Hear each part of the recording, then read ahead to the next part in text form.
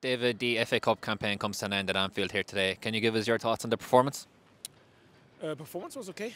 I think we've got beaten by a top quality side, as everybody has known, the best ones in England at the minute.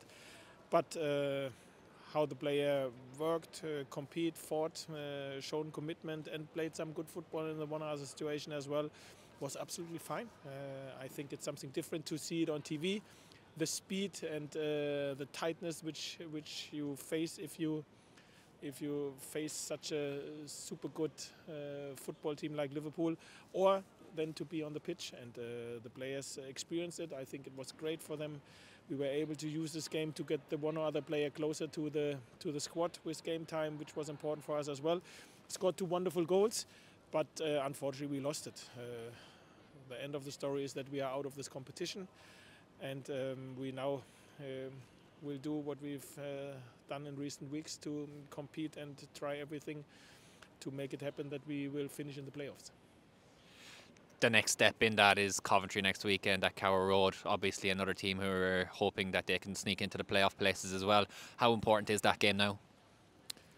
Uh, very important, like it was the Leeds game and the West Brom game and the Hull game and the Southampton game. So all of them are important. Uh, it's very exciting times. Uh, we have shown good performances in, in recent games and weeks, uh, got some good results as well.